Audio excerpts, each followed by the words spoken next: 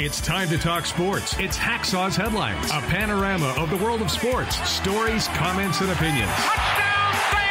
Now, here's iconic sports talk show host Lee Hacksaw Hamilton and co host John Riley. Who wants to talk sports on a Monday? We do. From the Dixieline Lumber and Home Center studios in San Diego, we welcome you to our Monday bonus podcast, Hacksaw's Headlines. Good afternoon, everyone. This is Lee Hacksaw Hamilton, along with my co host, the baseball junkie, John Riley. We welcome you coming off a great sports weekend, pilot into the beginning of the baseball playoffs. This podcast is brought to you by Dixieline Lumber and Home Centers, nine stores to serve you in San Diego. If you've got projects, they've got materials. If you need ideas, they can be your consultant and your best friend. Think Dixieline Lumber.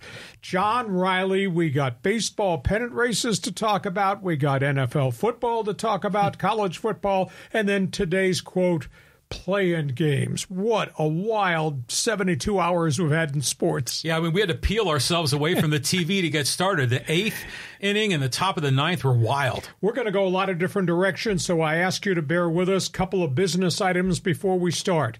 When we're done with this podcast, we open it up to you, you the viewer, on live stream you get the chance to participate, asking a question, making a statement. It's what we call Fans Forum. John, explain it. Okay, Fans Forum. You have a comment or question for Lee Hacksaw Hamilton? Now's your chance.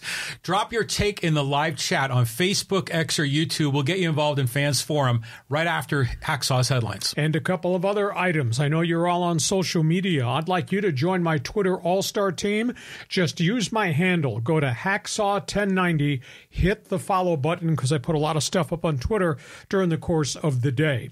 Want you to share, want you to subscribe, tell everybody what we're doing with this podcast Mondays and Thursdays. Uh, if you feel free, give us a thumbs up. We'd really like to have a five star rating, it helps us a great deal.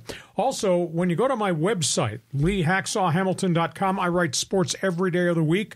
When we're done with this podcast this afternoon, just punch it up take a look at all the written material I have. I think you'll really like it. And it's always there. Every morning we add new stuff to my website, leehacksawhamilton.com. Also, there's an orange box. Fill out your information there on the email. You'll get on a mailing list. Join Hacksaw's Insiders Group. John, we got a lot to cover, go in a lot of different directions, and we're going to spin this as we get ready for actually wild card playoff games starting on Tuesday. On Tuesday. So we were kind of all wondering who the Padres are going to play. I mean, how's this breaking out, Lee? Okay, let's talk about what had to happen, what's still going to happen. The Padres, home field advantage, wild card round. They will face either the Mets or probably the Atlanta Braves. It's a weird set of circumstances.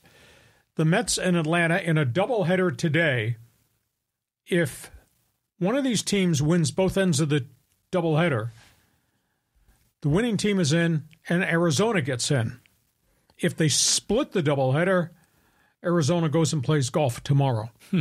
Somebody's coming to San Diego. We think it's the winner of the first game today. Somebody's going to have to go to Milwaukee to play the Brewers in the other wild card game. So then it, it takes us to John's big question which is the toughest team to face? Well, the Padres, I think, are the most complete team in Major League Baseball. I would want to face the Padres, period, exclamation point right now, because of starting rotation, because of everyday lineup, because of bench bunch, and because of Mike Shildt. I think the Padres are really, really dangerous. But let's just presuppose it is the Mets.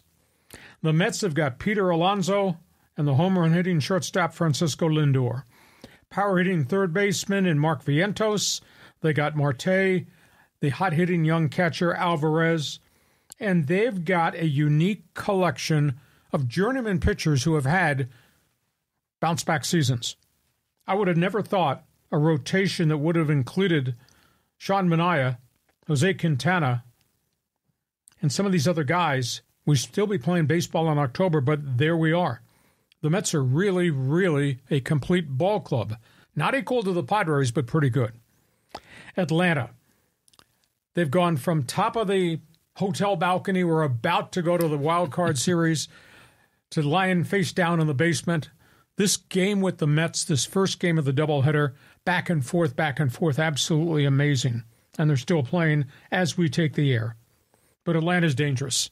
They got Marcell Ozuna, and they got Matt Olson, and they got this home run hitting hero today, Ozzy Albies, and they got Jorge Soler. And that pitching staff, wow. We think the Padres have a good staff. Well, they got Chris Sale and Max Fried at the front end of that rotation, and they got Ray Lopez back off the disabled list right now. Atlanta's a really dangerous team.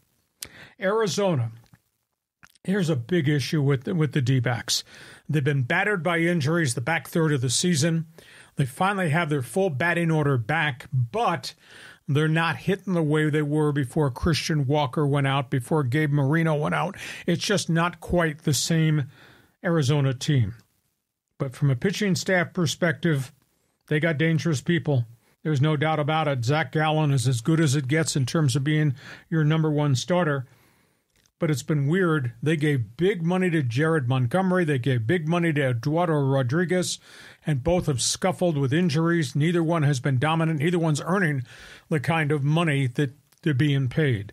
So I'm not sure Arizona is really ready for postseason play this season, considering that those guys went uh, to the World Series last year.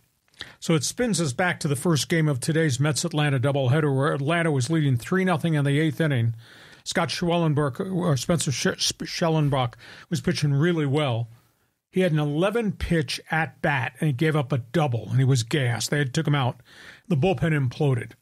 Joe Jimenez and Raisel Iglesias absolutely blew up in a Mets six run eighth inning. So Atlanta was going from a 3 0 lead to a 6 3 deficit, and Atlanta came back in the bottom of the eighth inning and retook the lead.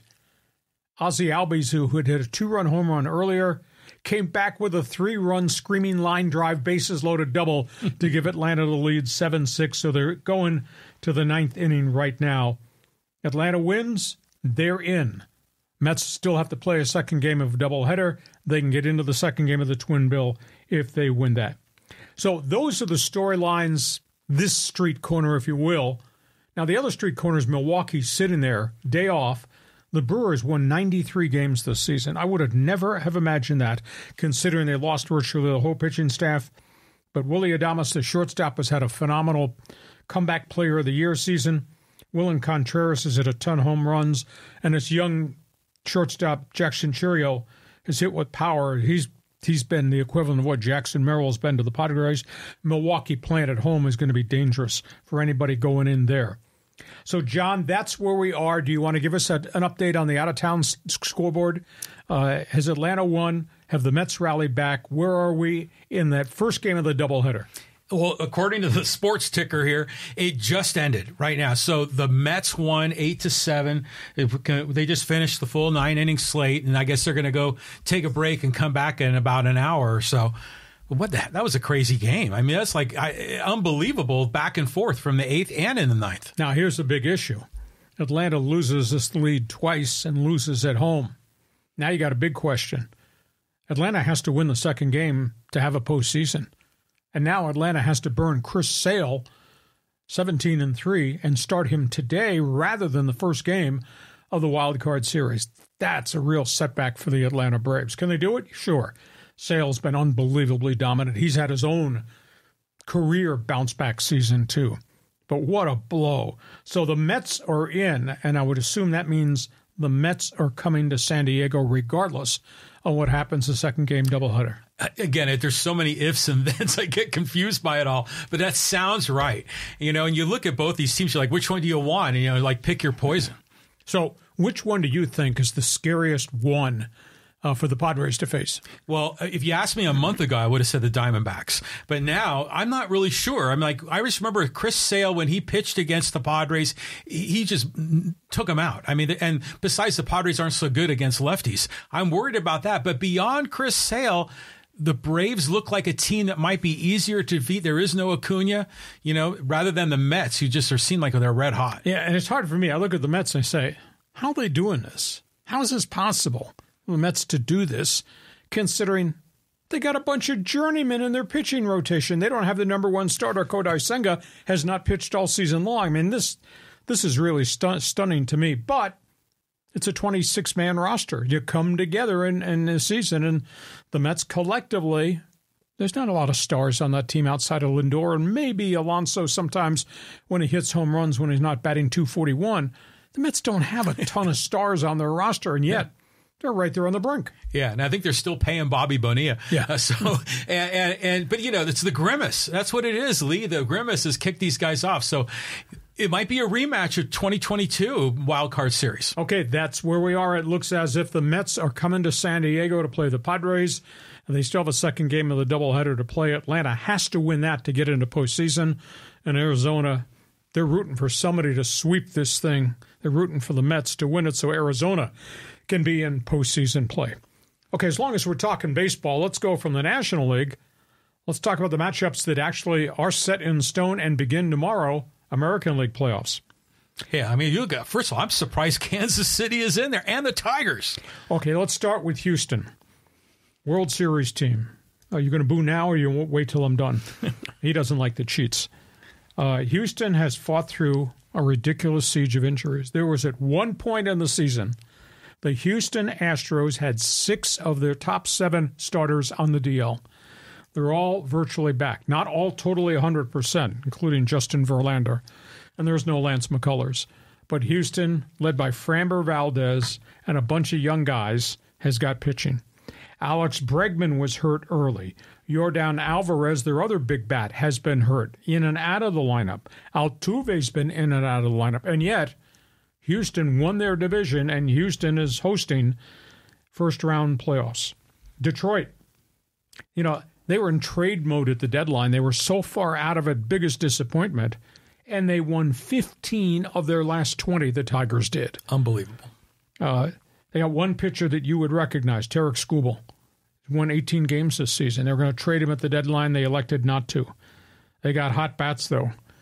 These are not household names. I follow them, so I kind of know that how the seasons have had. Riley Greene, Spencer Torkelson, Matt Vierling, and their second and third starters are kids, led by Reese Olson, and they're pitching pretty well. But this is the Houston Astros who have a world of experience, and this is Detroit, starry eyed. We're in the playoffs with a really, really young team. So Houston goes against Detroit. Baltimore's been building. You know, they were miserable for four or five years in a row. Hell, one year I think they lost 115 games. And Mike Elias did a great job rebuilding that. Virtually their entire roster are their farm system draft picks not much in terms of free agency. You got Baltimore coming off 91 wins. Baltimore did go into the marketplace and get Corbin Burnes to anchor uh, a very young pitching staff. Baltimore has survived the loss of three pitchers this season, including John Means, a former no hit pitcher who's twi- now had two elbow surgeries. They survived that, and they're playing tomorrow. Baltimore's got a great shortstop in Gunnar Henderson. Baltimore's got a whole bunch of complimentary guys that put the ball in play. Baltimore's a pretty good team. Kansas City rented a bunch of free agents. The Royals have a great shortstop in Bobby Witt.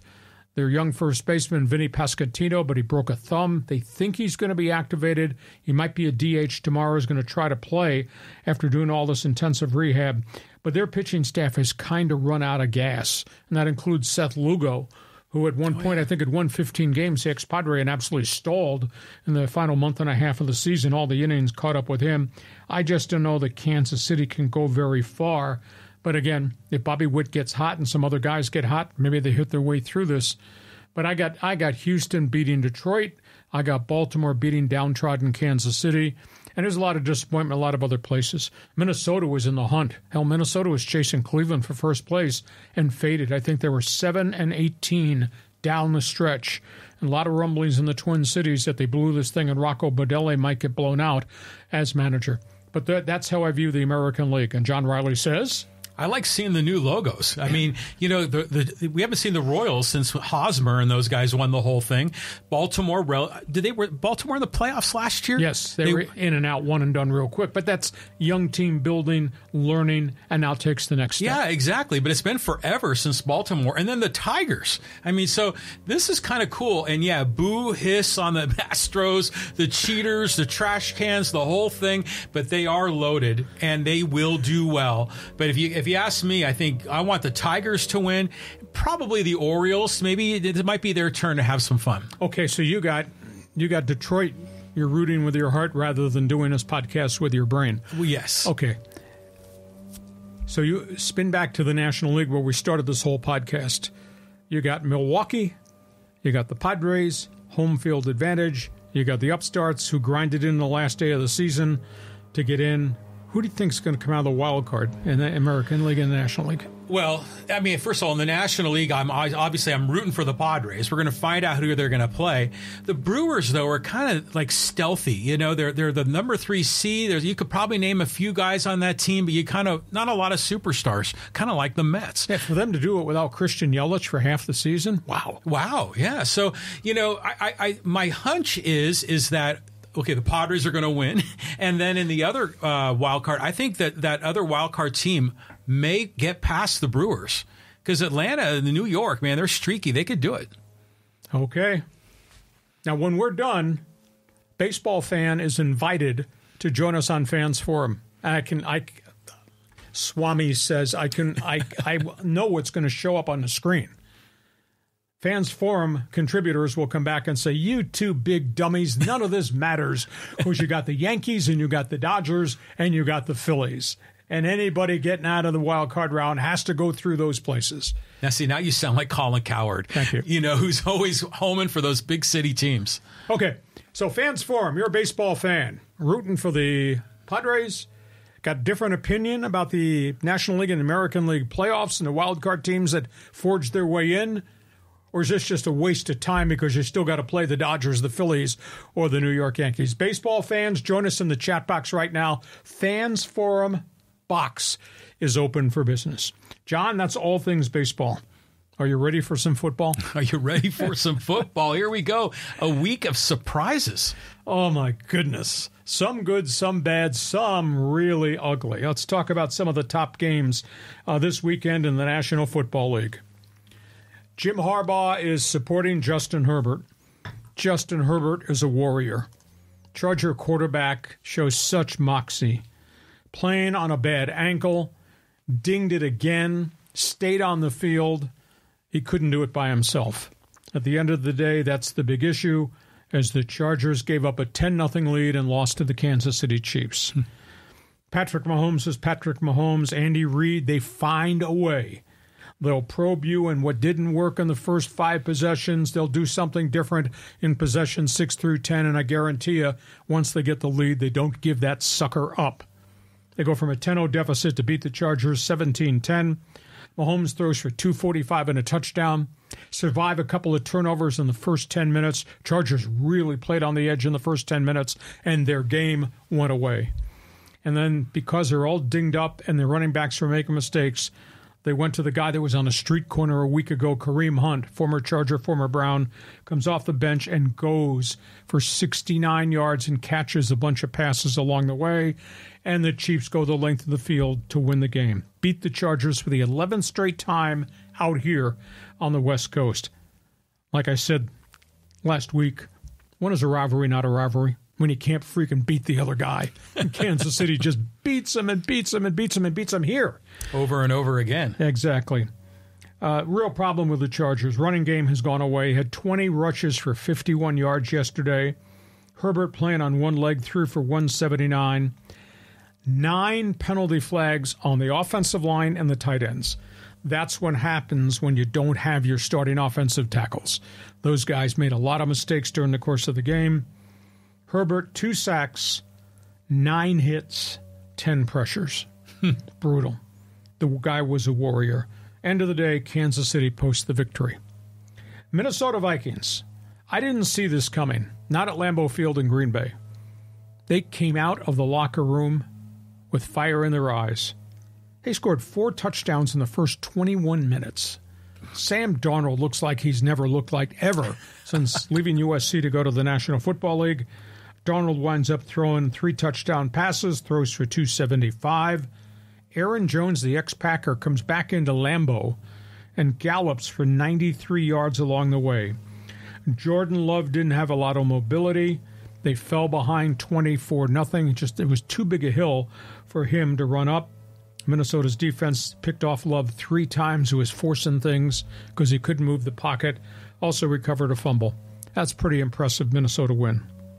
Then we get to Sunday night football. I thought this was going to happen. Baltimore came out and just ran it down the throat of the Buffalo Bills.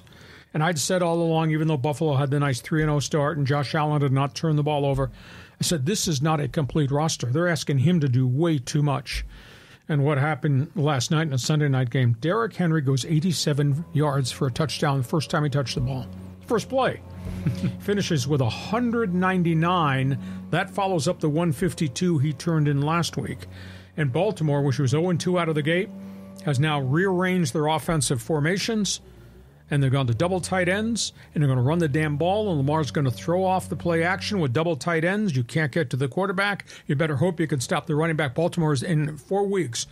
Baltimore's figured out how Derrick Henry fits with Lamar Jackson. That was a real dominant performance. Baltimore blasting those guys. Tampa Bay. Wow. Tampa Bay tears apart Philadelphia. Wow, do you think there's a little bit of heat on Nick Sirianni in the city of brotherly love, aka brotherly hate? wow, the Eagles are taking a lot of heat back there. Sirianni's taking a lot of heat.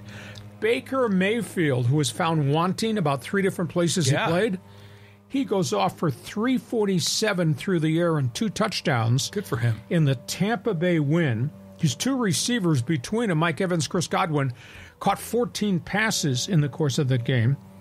And then there was the defense. This is Jalen Hurts, the Eagle quarterback, moves the pocket, runs, a dual dimension guy. He got sacked six times, turned it over, two more fumbles. Eagles having a terrible time. They move the ball up and down the field. They're averaging over 400 yards a game, and they keep turning the ball over as they move the ball up and down the field. Sirianni is under all kinds of heat. Tampa trashes Philadelphia. Washington, what a victory for the Washington Commanders. They're going into Arizona, where Kyler Murray and those guys were feeling pretty good about themselves. Not anymore. Washington 42, Arizona 14, and Jayden Daniels, who does not make mistakes. He throws for 233, rushes for 47 more. His tailback, Brian Robinson, gallops for 101, and Washington just stomped the Arizona Cardinals and everybody's paying attention to Jayden Daniels and say, "Holy cow!" Only concern I have is he he makes great decisions with pressure, moves the pocket, he runs too much, and at the end of the day, what happens to young running quarterbacks in the NFL? They get hurt. They get hurt. So far, so good, but I think they got to tone that act down. But boy, they're off to a quick start. I've seen a lot of stuff in all the years I broadcast NFL football. I've never seen this. I've never seen an NFL quarterback have minus seven yards passing in the first half. That was Bo Nix. Wow. And he had no sacks. He had minus seven. How does that work? Everything was check downs, tackle behind the line of scrimmage. It was Oh. unbelievable. He finished the game 12 for 22, 60 yards. 60 yard quarterback throwing for 60 in the NFL, a starting quarterback, a number one draft pick quarterback. And they won. They beat the Jets 10 to 9 in the rain in a field goal kicking slop contest. Aaron Rodgers, gimpy. He's got an ankle and, and got the other leg and the ankle are both bothering him. He didn't do very well, and the just could not move the football much at all. So that that is a bit of a surprise there. Denver beat Arizona with a quarterback who threw for 60. Indianapolis, they jumped all over Pittsburgh. I looked up. I was watching one game, had my laptop open. I looked up and the Steelers are down 17 nothing already in Indy to that quarterback, Anthony Richardson, who, by the way, got knocked out of the game again because he was running. Yeah, yeah. Running gets hurt. Exactly. But Indy came back behind that old dog, Joe Flacco. Joe Flacco. Joe Yeah. Flacco, he's got to be north of 40 years of age. He throws for 168 and two touchdowns. Colts defense chased Justin Fields all over the field, had four sacks. They recovered two fumbles. And the Colts upset the Pittsburgh Steelers. Fields did finish with 312 plus 55 rushing. He's getting progressively better. I don't think they have enough speed, skill, wide receivers to make that a great offense. Pittsburgh is still playing Neanderthal football, but the quarterbacks made progress. But Indy, behind the old dog Joe Flacco, posts the victory. And then the other marquee game was the Rams, and I knew it was going to catch up to them. I mean, Matthew Stafford has willed the Rams to victory, and he ran out of ran out of time. He ran out of opportunities. He, they run out of players. I mean, they they got beat, and they kind of got beat up really badly by Bears. Uh, Stafford finishes with 224, but he got sacked three times, turned it over twice. Can't do it by himself. See, I mean, his top two wide receivers, his tight end, are all gone. Four offensive linemen are still on injured reserve. Just not good. Caleb Williams didn't do very much offensively yesterday, but D'Andre Swift did. Hmm. He wound up with uh, 93 rushing, 72 yards in receptions. And the Rams are now sitting there beat up and a quarterback that's starting to take a lot of hits with a one and three record. And one other note, if we're looking for how the hell did this happen, how the Raiders beat Cleveland, but they did. Deshaun Watson looked terrible. Gardner Minshew didn't turn the ball over, and the Raiders kind of grinded their way to an ugly win, and a win is a win is a win, especially for those guys who desperately needed a win. So, John, I, I put a lot of stuff up there on the board. Just give me your response. Pick a game or two that either you were impressed by or surprised you, or say, how the hell that happened? Well, the, the Sunday night game I thought was interesting with the Ravens and with the Bills. First of all, I love the comparison of Derrick Henry with Eric Dickerson. Sure. And I never really thought of that. The, the guys on TV made that comparison. It's very similar. Dickerson is a bigger guy, mm-hmm. 6'4, long strider. Henry is just a bulldozer. I would compare Derrick Henry a little bit more towards Earl Campbell than I would uh-huh. Eric Dickerson. Interesting. Very, very different dynamics. They were both great. Yeah, so I mean, clearly, getting that running back, you know, Henry there on the Ravens, they looked dominant. But you just gotta love, uh, you know, uh, Josh Allen. I mean, some of these plays he made, you know, we were swapping texts. There was one where he was like gotten shoved out of bounds in midair. He threw the ball like 30 yards, almost got a touchdown out of it watching Josh Allen, he's almost looks like a majestic statue. You know, he's so you know, big. He's big, tall, athletic. You know, it's like uh, you know Michelangelo's David. You know when he's throwing the ball. So uh, you know you kind of root for him, but yeah, the, the Bills are not anywhere near as good of a roster. And what's your reaction to what's what's befallen Justin Herbert, who can't do it by himself, even though his his heart says he can. His head and his body won't allow him to do it. He's got no help. Yeah, yeah, there, there's no way. And he, I, I, saw some of the other players getting interviewed, and they're all saying, "Hey, man, Justin Herbert's not on him. You know, he's our guy." Uh, but you know, it's just it's the so charging because I saw that they were up early, and I thought, "Oh, here we go, maybe a big upset," and then it went the other way. The bad news, though, for the Chiefs, what's up with Rashee Rice? Uh, they think a ruptured tendon in his knee. That's it was a good. hyperextension. The replay looked awful. Uh, I mean, it was just a fluke thing. He got hit by his own quarterback as they were scrambling to try to dive on a loose football. Just a bad, bad break for them for Kansas City. So tough, tough situation. Instant to, karma's going to get you. Oh, all the time. What goes around comes around. Is that yeah, the phrase? Yeah. okay, that's what's going on in the NFL. Hey, fans forum chat box is open. You're an NFL fan. Hey, pick one of the teams we've been talking about. Talk about your team. Want to talk about the Chargers? Jump on board feel free to jump on us. That's okay. We're we take abuse. Uh, if you agree, great. If you disagree, that's even greater. We want to hear what you've got to say because John wants to argue with you. Hey, we get to halftime. This Monday bonus podcast is brought to you by Dixieline Lumber and Home Centers. Nine stores to serve you in San Diego. John, just run through a checkbox of the things that Dixieline has for people who are homeowners that are either making renovations, want to make replacements of things in the house. What are the hottest selling things Dixieline has? Oh man, the list is long. Lumber, building materials, power tools, doors, windows, kitchen countertops, uh, uh, bathroom cabinets. Um, you know, just about anything you can think of that you would use to build in your home. They've got it. They've got pros. They've been in San Diego for over a hundred years. Now they're expanding into Orange County. You got renovation plans? Think about them for materials. You got re- renovation plans want ideas? Think about them as your best friend and your consultant. These are special people, Dixieline Lumber.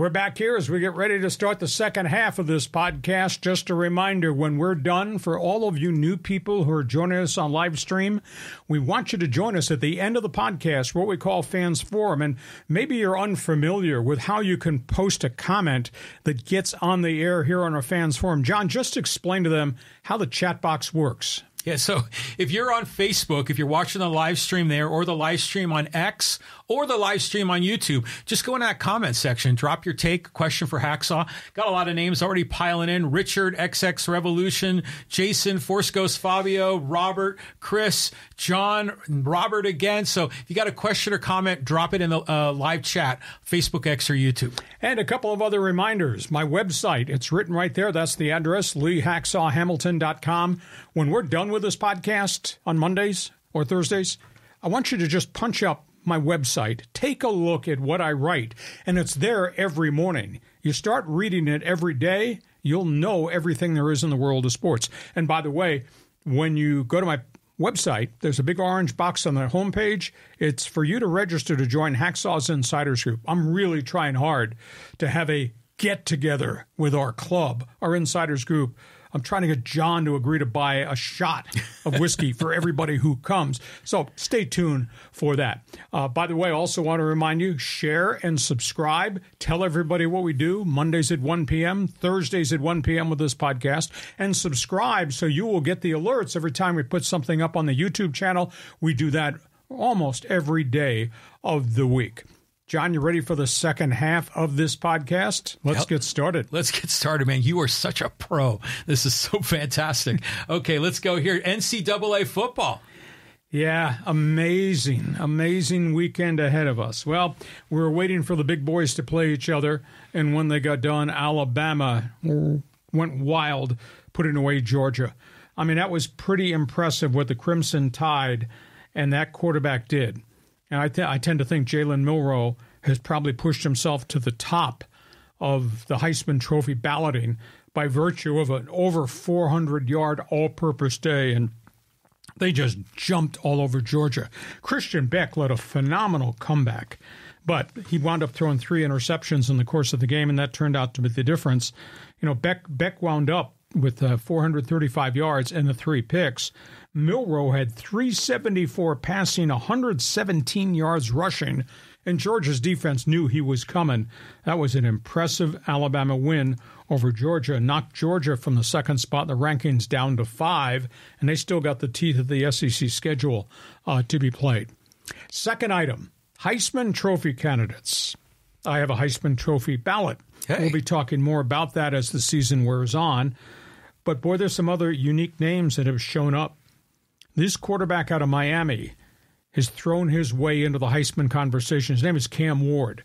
He started at small college Texas incarnate word an NAIA school. How does this kid get unrecruited? But anyhow, he put all these NAIA records up on the board, went to Washington State, played there two years. Really impressive in the Pac 12. And last year, graduate school, he elects to opt out of Wazoo, goes to the Miami Hurricanes. He's got them unbeaten. Cam Ward this weekend threw for 354 and four more touchdowns. Guy guy's made himself into a Heisman candidate. Obviously, I just talked about Jalen Milroe and what his accomplishments were against Georgia. Shedeur Sanders continues to put up big passing numbers for Colorado, and the Buffaloes are off to a pretty good start. And the other dark horse name is the Boise State running back, Ashton Jeanty. He's had four 200 yard games. And it's not like Boise State is playing Idaho State of the Big Sky Conference. Mm-hmm. He's doing this against legitimate D1 teams. And he just ran, went off for 259 yards and four touchdowns against Washington State. So this bears watching. I'd say right now, those are probably the top five names. We'll see if some other quarterbacks surface as we move to the middle of the season, move to the second half of the season. From the Heisman, let's talk about the Aztecs. Mm. Patience. Mm. We need patience. The 12 Aztec football fans left in the community need patience. I, I don't mean to be cruel. Sean Lewis, it's, he's struggling. Uh, I don't know if the system's too complex, whether the play calls are right or not, but the Aztecs lost to a team that is kind of at their level, Central Michigan. They weren't playing Pac 12 people, and they just couldn't stay in the game. Uh, they, they move the football in spurts, and then they don't score. They play really hard on defense. The defense is on the field the whole damn time. And this weekend, they committed a bunch of personal foul penalties, which made it really, really hard for them to overcome. I still think they're going to be good. Danny O'Neill is really impressive for an 18 year old freshman. He has no turnovers in four games. Wow. None. That's impressive. He's really accurate. Now, they're not doing well on third down plays right now, only 34% conversion. But, I mean, this is a star of the future. Lewis Brown, the transfer wide receiver from Colorado State, has become their big play guy. I, my only concern is they're asking Danny O'Neil to stay in that pocket while they run deep home run balls, and they're not hitting as many of those deep passes as you'd want.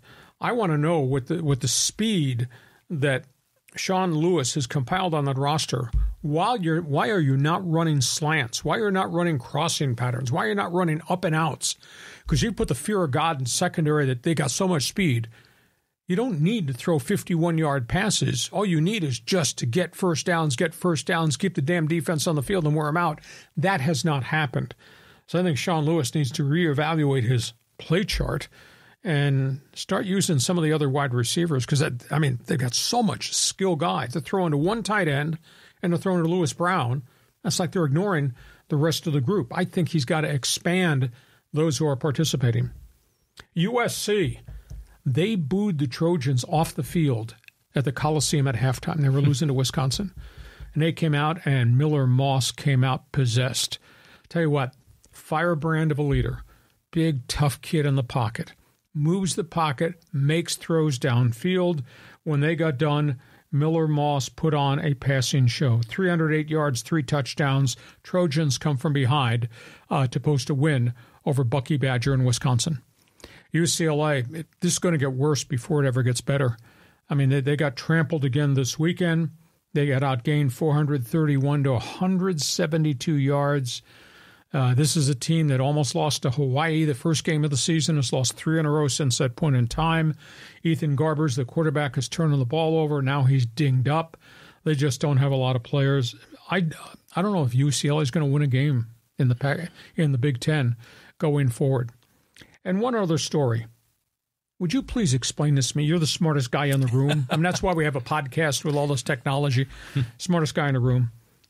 Why would the Mountain West Conference – make a phone call. They're trying to add an eighth team after having lost Utah State plus San Diego State, Boise, Fresno, etc. They're trying to add an eighth team. Why would you call North Dakota State? Why would you call Texas State? Why would you is was there an earthquake or something? why is Northern Illinois Toledo, which I thought were in the Midwest, why are they considered a Mountain West West Coast team now? That's who they're calling to try to get to be the eighth member of the team of the conference. Why is the Mountain West doing that? Makes no sense to me at all. No, no. I mean, well, geography doesn't matter anymore. Yeah. The the number on the end of your conference name, Pac-12, Big 10, Big 12, that doesn't matter anymore. So it's just anything goes, you know. The Mountain West needs to pick a generic name, you know, so they don't get geographically linked. I can't believe Toledo and Northern Illinois come in here in this conference. That's as absurd as back in the day when San Diego State was going to the Big East. I said, "Oh yeah, I, damn, I can't wait to start that rivalry in the Big East Conference with UConn football." Imagine being a player in Northern Illinois and you got to go fly to Hawaii to play football. I mean, that might be a nice vacation. That's a hell of a trip. Yeah. So that's where we are. So, John, give me a quick spin. Pick a pick a team. Pick a topic. Uh, I know you have opinions the, Aztecs, I was just so in it for them. I was thinking they could really do it, and the you know the kicker you know had some trouble. He missed a couple of field goals. You can't put it all on that kid, but still, he would. This was a game you wanted them to win. And it was interesting, just generally speaking, watching that game in their stadium, which is a nice stadium there in central Michigan. And then I flip the channel and it's Georgia, Alabama. And it's like the freaking Super Bowl, man. And it's big time. Uh, you texted me, it's big boy football. Here we go. You know, so it's interesting the differences of the two. Um, but you know, I, I, really want the Aztecs to be successful. I like Sean Lewis and his enthusiasm. I want him to be successful. The other comment I'll make is, I want that kid from Boise State to win the Heisman, just like Marshall Faulk got screwed by um, who was it, Lee Corso, you know, that wanted his guy from Miami um, to get you the Gino Torretta fan. Gino huh? Torretta, yes, you know, so the Aztecs got screwed. This kid from Boise State sounds like he's legit. I haven't seen him yet, but the wow. numbers are off the chart. He's a third year guy. He stayed. He didn't go to the NFL. I mean, wow. he is the best big running back. There's a highlight video from this past weekend's game against Washington State. He ran over seven different Cougar players on this long touchdown run. It's a phenomenal run. So Google it up, Google So boy. is he like an Earl Campbell that bashes you over, or is he a fast guy? no, he's he's he's physical. He's not Earl Campbell in terms of dimensions, but Yeah. he's big and physical, and he's got an extra gear once he gets out there. He's he's like Faulk. Faulk was not as physical as Jeanty is. Faulk was unbelievably lightning quick, and he had an extra gear when he got out to the second level or got to the sidelines and went. This guy will bang you and then bounce it out, and you one guy can't bring this guy down. He's just he's powerful. That sounds like Rashad Penny. Yeah, Yeah, yeah. So maybe that's a better comparison. that's very good. yeah. Okay, so that's where we are in college football. Feel free to join us with an opinion. Fans Forum chat box is open. We're talking hoops. Oops, yeah, big trade in the NBA. I mean, this is a lot of people are talking. This is a real stunner. And I'll tell you, this is a portent of what can happen in the NBA and might happen in the NBA. I'm going to tell you about the trade and I'll tell you how I'm going to link it to something else. There's a story out there. It's not gotten national recognition, but people should be paying attention. The Minnesota Timberwolves traded their big starting high scoring forward. It, there were there were all kinds of issues with Karl-Anthony Towns in terms of relationship with the other big guy Rudy Gobert. Anyhow, Minnesota traded Towns, averaging 23 points and 10 rebounds a game, and a number one draft pick. They go to the New York Knicks for their unhappy shooting forward, Julius Randle, former number one pick, averaging 24 points per game, plus three point shooter Devontae Vin- DiVincenzo. The big issue, and the story hasn't spilled out yet, Minnesota cannot afford to pay three guys 40 million apiece and that's where the contracts with stars have gone. I mean they have anthony edwards they have mm-hmm. gobert they had towns. Each was making between 40 and 43 minnesota's ownership says we do not have the ability to create that kind of revenue to bring it in so it can go to the players. So they traded Towns. I don't think they got fair value back. Julius Randle is a streaky shooter, is kind of a bit of a head case, but they gave up on him. Connect the dots to this story. Boston Celtics won the NBA championship last spring. Hmm. Phenomenal team came together. Everybody's contract kind of came up at the same time. Everybody's making 40 million. There's three stars on the team, plus all the support guys are making mega bucks. That's why that family just announced once they got to the championship parade over, we're putting the team up for sale. We can't afford. They're going to lose $80 million this season. The Celtics, the championship Celtics, with all the sponsorships and all the sell, they're going to lose 80 million this year because of the cost of the contracts. And suddenly I looked at the Minnesota story, and that was the first thing that flashed into my mind on the weekend was the NBA, even the glory of everybody making 40 mil, they're headed for disaster because there's no way to recoup all this money to pay all these guys. I mean, Boston's got three guys making 40, and the owners put the championship team up for sale at the peak of their success. And Minnesota has three superstars, and their owner says, can't do it. We're going to make a trade. I think NBA is headed for trouble. Anyhow, so that's that's the big story in pro basketball there. Your response? Yeah, well, it's clearly the Timberwolves, um, you know, gave up a lot. I think the Knicks won the deal. Mm-hmm. But it is interesting, the money thing, because when you're first explaining, I'm thinking, okay, Minneapolis, not as big of a market, you know, but if Boston was struggling, now granted, I know for Boston, it's probably like a, a play toy for the billionaire owner. But at some point, you can't, you got to say, hey, man, we can't keep giving money away um, it's it's fascinating how all these pieces are rolling together. Because I remember, like the Lakers roster is loaded. That's one of the most expensive in the league, right? Well, they got yeah, but the, they got two guys making all the money. The rest of the guys are way down the chart. But even the guys way down the chart are still pulling like twenty million a Yes. year, which is just an unbelievable. So I don't know. I don't know what this means for the NBA. Man, they got to figure out a way to get more revenue. I think there's a problem on the horizon. I really do. Wow. And it, again, the union has a right to negotiate under your form of capitalism to get every dollar you can get out of the owner for every player. Yeah, of course. But now, when you got two of your marquee teams say we can't afford this, we're losing too much money paying what the union wants us to pay. Mm-hmm. Game's going to change. Something, Yeah. Something's got to change. Yeah. Interesting. Okay, you're an NBA fan. You follow pro basketball. Who do you think got the better of that trade? And do you agree or disagree with me? There's a problem on the horizon in pro basketball with the salary structure, not just for the stars, but for everybody else. That's one topic. Next one. I, I- this news is tough, man. I mean, I really like Dikembe Mutombo. Uh, what a personality. He passed away at the age of 58, uh, brain cancer. Um, this was a unique player, came from small college basketball to the NBA and changed the game defensively. He was not only a great defensive player, good teammate, he became a persona. He became the first global ambassador for pro basketball around the world. Yes. Not just in his home country in Africa, but around the world. So when he retired, he played 16 years in the league, started and had unbelievable success with Denver, moved to other places, including Philadelphia and uh, to the Houston Rockets. When he retired, he went to work immediately for then Commissioner David Stern. He has done so much institutionally for charity. He has built hospitals in the Congo, which is his home country, Wow. in Sudan, in Ghana.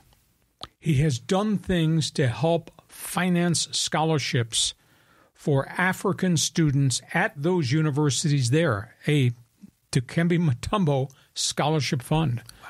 And he's done so much for charity here in the States, especially especially hospitals. What just what an unbelievably unique man. Uh, Four time All Star. Well, I think one of the great modern day defensive big men in the league. Negligible on offense, but what he did to change the game, I think I think he's number two all time in the history of the NBA in block shots. I think he's number four in the history of NBA rebounding. And not only was he a great player, but God, what a great citizen. And to see him pass away so suddenly at age 58, sad.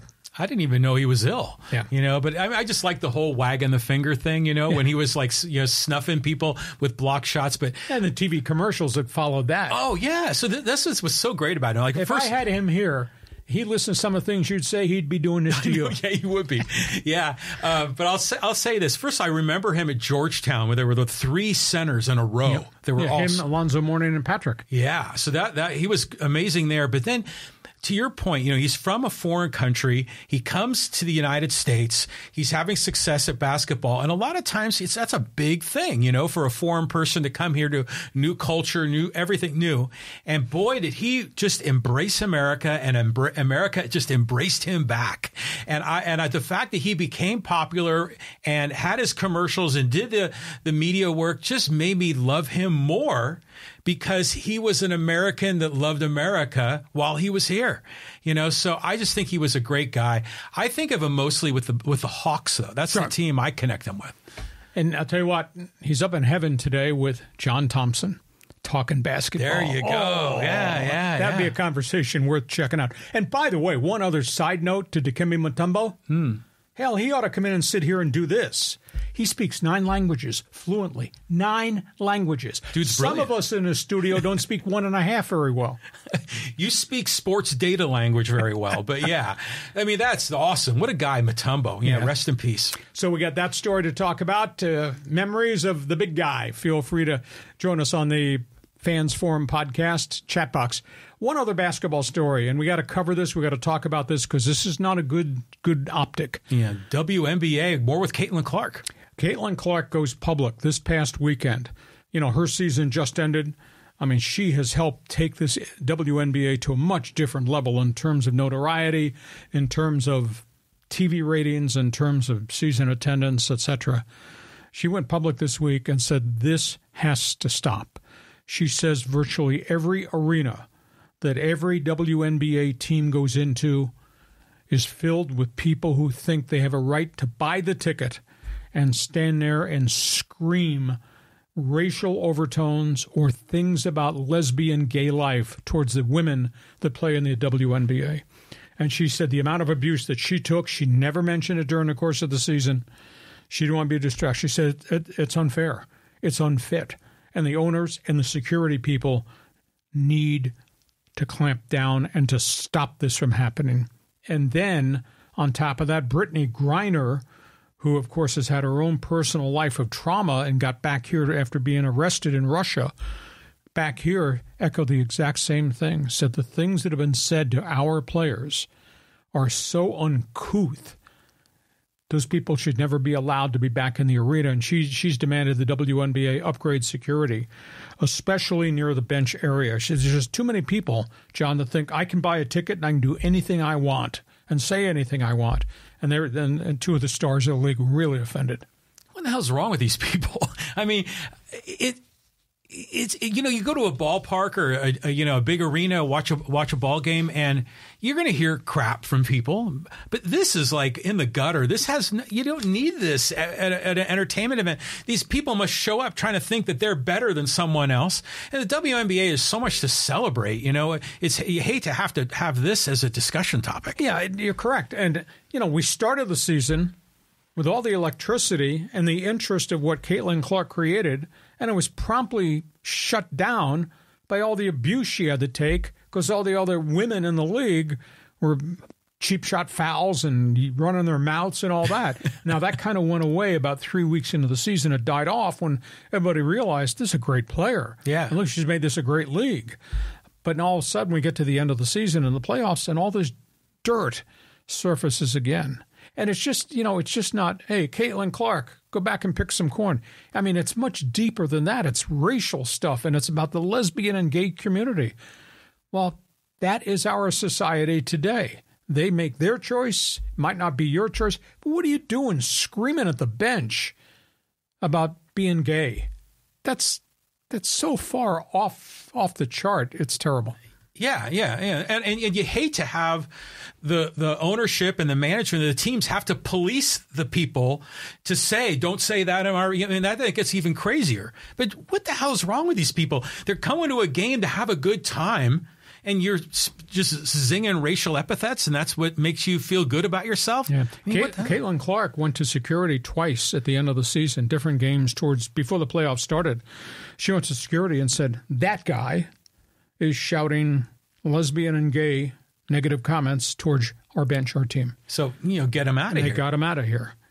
So these guys get beard up, and I'm a man. I'm going to talk about you being black or you being gay. Well, remember that happened at a Padre game with Dom, uh, Tommy Pham. Sure. You know, so you see this kind of crap every once in a while. It's like, geez. But I think for a player, if a player wants to go to the point of singling out someone to get out, and I say, yeah, that person gets out. Okay. So we go from basketball. You got an opinion about the greatness of the WNBA season, how neat it was, or how sad it is that they have to deal with some of this. Join us in Fans Forum. Hockey camps are open.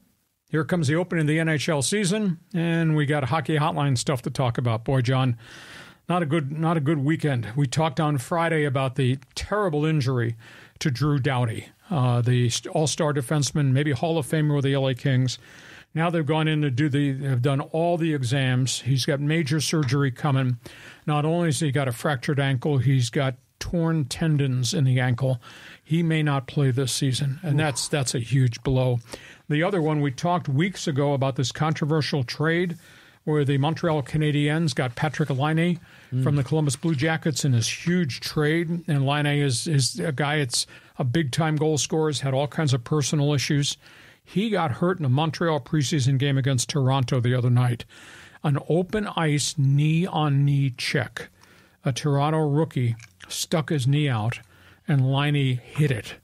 And Laine's got a really bad knee injury. I don't know if it's a fractured kneecap. Uh, there was a huge fight payback in the aftermath of that. But that's a terrible blow because this guy scored 209 goals in about five and a half years in the NHL. And even though he's had personal issues, that's a, that's a really good player. Montreal's really counting on Patrik Laine to be a star. So NHL season opens in a week, but boy, what a terrible blow for the Kings. And this does not look like it's good news up in Montreal. You know, I heard someone tell me one time, I never forgot this, that the NFL, we'll get to hook the at show. NFL is like modern day gladiator games. Mm-hmm. I wonder maybe is the NHL a better representation of that? Because these dudes, man, the abuse they take, the injuries, I mean, which do you think is the more um, like I say, physically abusive sport? I think the NFL is because it's a much wider field and guys are running at full speed. Yeah, granted, they have pads and they do wear helmets and they've tried to outlaw helmet hits and all that, but you're still going to get unbelievable violent collisions along the way. The NHL is in a confined chunk of ice, 200 feet by 80 feet, mm. and that's it. Uh, but they, you know, they mandated helmets, they mandated visors, this year in all the minor leagues, in addition to the junior leagues, have not done it in the NHL. Everybody must wear throat guards because you get players who get hit, get up in the air, skates fly through the air, and we, of course, we had the death of the NHL player who played in England last mm. year. So there's, I think the the NHL and the NFL have both done a real strong job in terms of lessening head blows, giving the players better equipment to wear, but it's a high speed contact sport. And the NHL has made tremendous strides in terms of I can't hit you in the head. I can't cross check you and send you head first into the boards, mm. uh, where you could get a head injury, a neck injury, etc. And some sometimes skate cuts are accidents, sometimes high sticks are accidents and incidental, but that stuff happens, and you can't you can't go knee on knee check. You can't stick your leg out as Patrik Laine is coming across with the puck across center ice and check him with your knee and put knee on knee. Hell, I'd never do that because I'd blow my knee out, much less hurt him. Mm. So there's great risk. But this incident was pretty, pretty ugly. And it's a big blow to Montreal because that's an $8 million a year guy against the cap who I don't think they're going to have for maybe half the season. It looked, it looked really bad. Brutal. Brutal. Okay, so that's hockey. Feel free. Oh, Canada Network, you're joining us. You want to jump in, talk about that. Last topic on the table. We're going everywhere. The high speed sports wire. Here it is. hey, we've been talking. We talk a lot of soccer here. Christian Pulisic, he's done something no American has done over there. Over there this year is he plays for AC Milan. He scores five goals in straight games for AC Milan. No Americans ever done that. That's awesome. Five goals in five games. I mean, he has grown. That's the coolest thing. We we've been doing this podcast almost two years. Hmm. And we talked about the young 18 year old who was then a 20 year old, and he looked scared and terrified playing for the U.S. national team, who got better and better. And he went to Chelsea, and then he went to Germany. Now he signed in AC Milan. That's a man to see him grow from an 18 year old that I first followed and said, well, yeah, he's a gangly kid who can run, and I see him grow into a man and be he scored five goals in five games at that level. Wow, that's that's pretty impressive. Strange story in auto racing. Well, I don't know that we know the end of this completely. Michael Andretti has sold majority control in his IndyCar team to one of his co-owners. It's a it's a really weird story. Uh, Andretti has run a three race, three car team. Had some marginal success recently. Prior to that, had great success. He, of course, was a great driver. You know, and his and Mario Andretti, his father. Uh, Michael's been embroiled trying to get a charter to be one of the members, to be the 11th team in Formula One. Has run into all types of political problems with the European ownership that doesn't want him there. They don't want to split the TV revenue, etc. Though he would be a great poster boy for F1 coming back here. He sold it. He sold the majority control. The rumor is he's furious at Roger Penske, the legendary owner uh, who Penske owns the entire IndyCar racing business. Mm. Penske owns the 500. Penske owns its IndyCar team and its NASCAR team. Um, he just does not think that Roger Penske has done a good enough job marketing the sport. He's upset that outside of the Indy 500, the rest of the IndyCar schedule is kind of off the radar. It's kind of meaningless. Yeah. And he's upset all of a sudden that Formula One, with all of its money's come in and planted a flag here in the United States mm. And gotten record TV ratings. And more people are paying attention to F1 and Max Verstappen and the angry Team Red Bull storylines, and they're paying attention. He's correct. Yes. I mean, I've, I've covered IndyCar racing since Fido was a pup. I grew up in IndyCar racing. I know all about it. It just it doesn't have the impact. It's not on the people's radar. And what they need to do is they need to rework the schedule. And if you, they only run, I want to say 12 to 13 races a year. It's not like NASCAR that runs 36 or F1 that runs, I think F1's running 32. What they need to do is fix their calendar and make the marquee events. Make it the first Sunday of every month there's an IndyCar race. Don't go six weeks on the schedule without a race and then run two races in one weekend in Milwaukee. That's weird. So, they, and so maybe his critique of Penske has got some validity to it from a marketing perspective. They got to change the image of IndyCar racing aside from the month of May. So there's a lot of work to be done, but he's walked away. I'm, I was really surprised at that. And then there's the last one the owner of the Chargers, Your best friend. Dean Spanos. Big, about a year and a half ago, big story broke. His sister, Dea, who owned 24% of the franchise, family ownership, owns most all the stock. She went public and said, This man has ruined the product. This man has ruined the business. This man has got debt everywhere. This man left San Diego. This man had to take out all these loans to pay the beginning of the territorial fee to move to Los Angeles. This man had to borrow money uh, to meet his bills. This guy's borrowing one from one bank to pay off another bank loan, saying that Dean Spanos needs to be removed. Well, they fought and they fought and they fought. She's given up the fight, but she sold 27% of her stock in the franchise and the Spanos Foundation to the owner of the Detroit Pistons, Tom Gores. And Gores has become the lead minority owner. Dean Spanos, first family of football, will continue to make all the football decisions mm. about a franchise that's not had a hell of a lot of success. But Dea Spanos has walked out. And I, I've tried to configure, and I was never good in new math because I cut math class that day in college and went drinking uptown that day too. I, I don't know what the value is, but it's it's got to be if if the franchise is valued 5.6 billion, you do the math. Get your lap uh, your uh, cell phone out. What is uh, 27% of 6.5 billion? That's what she got. Oh, that's about you know one and a half uh, billion. Probably more than that. Yeah, but yeah. anyhow, that's the story that broke. Hasn't gotten a lot of publicity because when the when the lawsuit story broke, she sued, filed I think three different pieces of litigation and they were never going to settle it, and, and the league was never going to force the First Family Football to sell the franchise. But anyhow, she has sold it and made significant profits.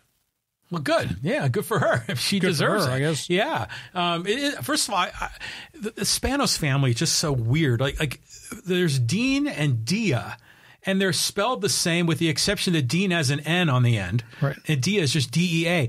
What's and, going and on? there's another brother, Michael and there's a fourth member that lives in Stockton, and they own, I want to say now, they must own 76 maybe percent of the stock. And now Tom Gores has bought Dea's ownership of it. And there's one family here in San Diego uh, that still owns the team, have owned it since the days of the old AFL Baron Hilton San Diego Chargers. Yeah. George, um, yeah. oh, I can't I, remember. Re- I remember this guy, yeah. Great gentleman. He's passed on. His family still owns it. So that's where we are with the Chargers. So, you want to talk about uh, Pulisic, Andretti? No, I want to talk about the IndyCar Andretti thing because, like, when I was a kid, the Indy 500 was everything, right? Sure. You know, and, and this is before for me, and NASCAR was big. I, you know, frankly, back when I was a kid and even today, I don't really care about the rest of the IndyCar circuit. I just care about the Indy 500. Month of May. And all the pageantry. We talk about that. We enjoy all that. So it makes me wonder is like why is why is there an IndyCar league and an F1 in, in Europe? I mean, they're very similar kind of cars. Why can't they just standardize on and make all of IndyCar F1? Well, F1 is all road racing. F1 is much different technology, much more expensive, much more powerful cars. IndyCar is oval and road. Uh, the oval is obviously where the speed and the excitement is, but it, it, it's maybe it's cyclical, but IndyCar's gone through a really bad time in terms of losing its notoriety and its specialness. Aside from the old Brickyard in the month of yeah. May, NASCAR was a good old boy thing. It was a regional franchise. It grew and it became a national thing thanks to TV. And of course, they had personalities, you know, right. the Man in Black, Dale Earnhardt, and all those guys, and the Alabama Gang, and Bobby Allison. Now, NASCAR's TV ratings have kind of plunged, even though it's a national sport. We don't have a NASCAR event on the West Coast anymore in Southern California. Hmm. Where all the population and the TV viewers, we don't have a race because the track is, is being downsized at, in Fontana. There, has been wild talk about doing a street race, but I don't know. The street race is exciting anybody. So now NASCAR's TV ratings are dipped. And here comes all things Europe and all things F1 and all things Max Verstappen and Sir Lewis Hamilton and they're coming here. They're they are they're going to have five F1 races here in North America, I think within two years. So suddenly F1 has become the oh, social yeah. thing, and of course F1 is global. F1's in Brazil. F1 is everywhere in Europe. I mean, it's fascinating. You know, F1's in, in Japan. So, it, My, my wife watches F1 because she watched that Netflix series Yes. and got hooked on it with, and my, she and my son are always talking F1. And I'm like, I, I have my hands full keeping track of everything else. But yeah, yeah, we've noticed that on this podcast. Yes.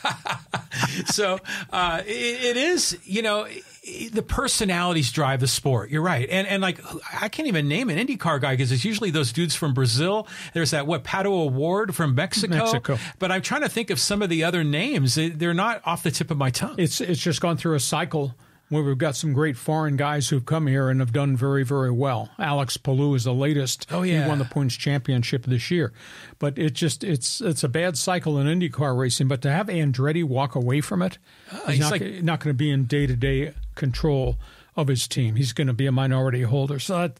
And I, I tend to think maybe some of the stuff he's saying about the lack of marketing and creative juice, they yeah. need to do something to put IndyCar back on the calendar. And I mean, I, I follow it because I write about it on my website a lot. But you go six weeks without an IndyCar race, out of sight, out of mind. totally. Instead of first Sunday every month in IndyCar, make it work on the schedule. Yeah, yeah. Hey, you're an auto racing fan, soccer fan, jump on board. Fans Forum box is about to be opened. Hey, this podcast is brought to you by Dixieline Lumber and Home Centers, nine store locations to serve you in San Diego. You got projects, they got materials, you need ideas. They can be your best friend, be your consultant, whether it's in the house, at work, or even on the back patio by the pool. Think Dixieline Lumber. This uh, podcast on Mondays and Thursdays at 1 p.m. And it's time for what we created that you must like because the damn box is filled with people with opinions. It's called Fans Forum. John right. Riley, it's yours. Here we go. It's to start off with Robert. He said, Has there ever been a game and a year as 2024 Mets and Braves game today? Padres want Sale to pitch today and not tomorrow. Well, it's amazing. I mean, this this comeback thing. It was three nothing in the eighth inning. I was on the highway, making my way coming back from a press conference to come do the podcast. And it was three nothing, and I turned around. All of a sudden, the Met, you know, the Mets had six. Said, "Oh, this sucker is over. They're going to have to play the second game of the doubleheader." And then Atlanta comes from behind, thanks to Ozzie Albies again, and gets a lead. And then Lindor solves it in the top of the ninth inning. Uh, and you know, from the Mets and the Atlanta perspective, they got a problem. Now they've burned through their bullpens. I mean, they are going to be breathing fumes by the time somebody gets to San Diego.